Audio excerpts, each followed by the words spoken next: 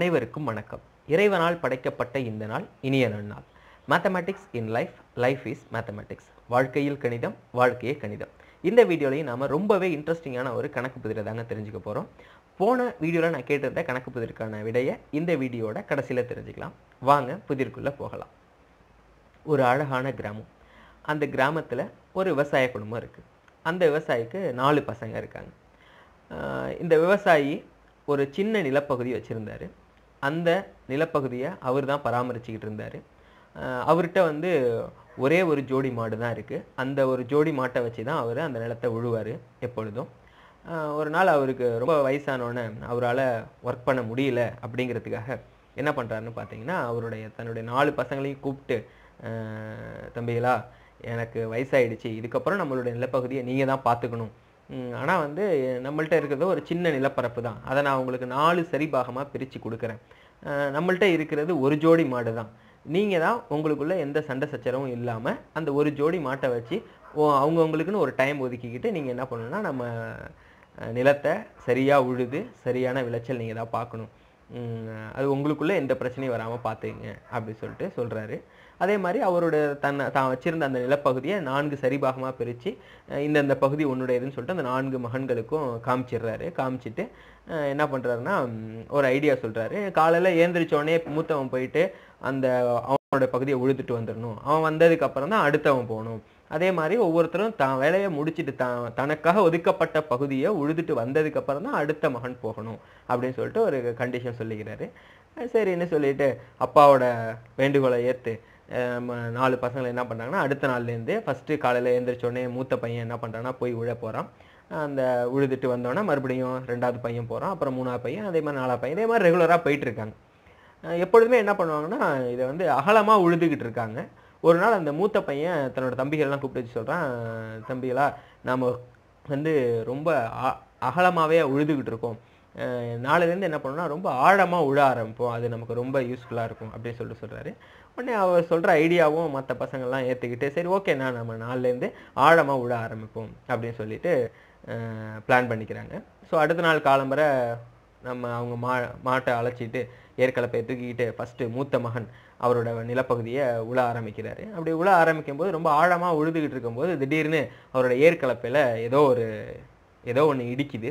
அது என்ன அப்படின்னு சொல்லிட்டு அதை நோண்டி பார்க்குறாரு. பார்த்தா ஒரு செப்பு குடம். உடனே உழுதுகிட்டு இருந்ததை பாதியோட அப்படியே போட்டுட்டு நேராக வீட்டுக்கு வந்து அந்த செப்பு குடத்தில் என்ன இருக்குன்னு சொல்லிட்டு ரொம்ப ஆர்வமாகவே அதை எடுத்து பார்க்குறாரு அதை வாயை ஓப்பன் பண்ணி பார்க்குறாரு பார்த்தா அதில் கொஞ்சம் பொற்காசுகள் இருக்குது ரொம்ப ரொம்ப சந்தோஷமாக பரவாயில்ல நம்ம ஆழமாக உழுதுறதுக்கு கடவுளே நமக்கு ஒரு பரிசு கொடுத்த மாதிரி இருக்குது அப்படின்னு சொல்லிட்டு சரி இதை நம்ம மட்டும் எடுத்துக்கிட்டது முறை கிடையாது. நம்ம தம்பிங்களுக்கும் கொடுக்கணும் சரின்னு சொல்லிட்டு மூத்த அண்ணன் ரொம்ப கரெக்டாக நான்கு சரிபாகமாக அதில் இருந்த பொற்காசுகளை நான்கு சரிபாகமாக பிரிச்சிடுறாரு. பிரித்து தன்னோட பங்கை எடுத்துக்கிட்டு மீதி உள்ள மூணு பங்கையும் அவங்கவுங்க தம்பி தம்பிகிட்ட கொடுக்கலான்னு சொல்லிட்டு யோசிக்கிறாரு. டக்குன்னு அவருக்கு ஒரு ஆசை. நமக்கு இன்னும் கொஞ்சம் இருந்தால் நல்லா இருக்குமே அப்படின்னு சொல்லிட்டு ஆசைப்பட்டுட்டு என்ன பண்ணுறாரு இதுக்கு நம்ம வேற ஒரு ஐடியா பண்ணுவோம்.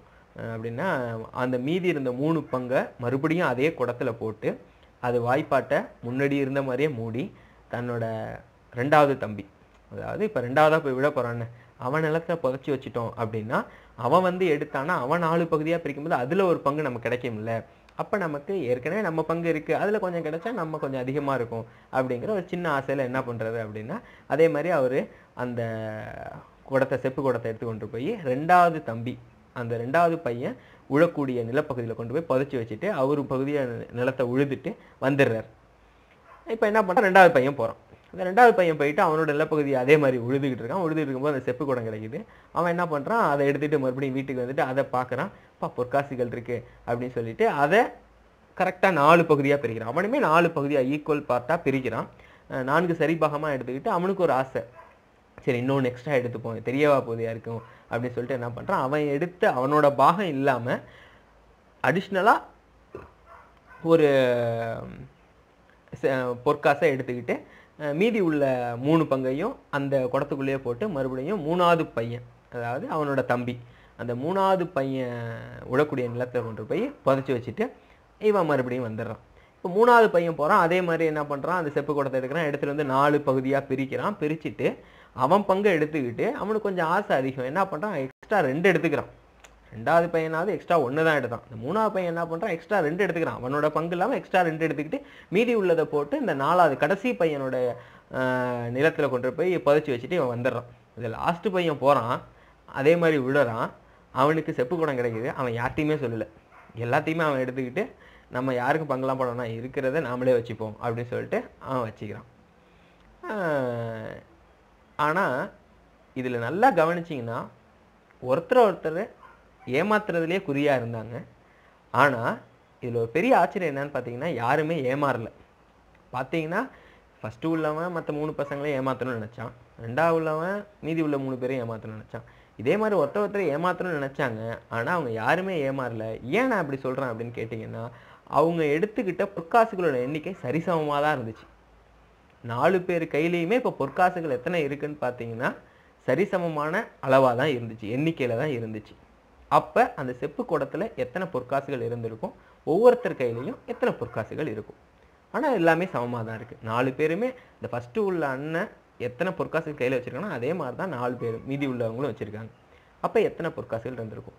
இதுக்கான ஆன்சரை கண்டுபிடிச்சி தாங்க எனக்கு கமெண்ட் செக்ஷனில் கமெண்ட் பண்ண போகிறீங்க இப்போ நாம் போன வீடியோவில் நான் கேட்டிருந்த கொஷினுக்கான ஆன்சரை பார்க்கலாம். வாங்க. போன வீடியோவில் நான் என்ன கொஷின் கேட்டிருந்தேன் அப்படின்னு பார்த்தீங்கன்னா ஒரு சதுர வடிவ பூங்காவுக்கு பக்கத்திற்கு ஒன்பது விளக்குகள்னால் மொத்தமாக எத்தனை விளக்குகள்? மொத்தமாக முப்பத்தி ரெண்டு விளக்குகள் அதுக்கு தேவைப்படுங்க.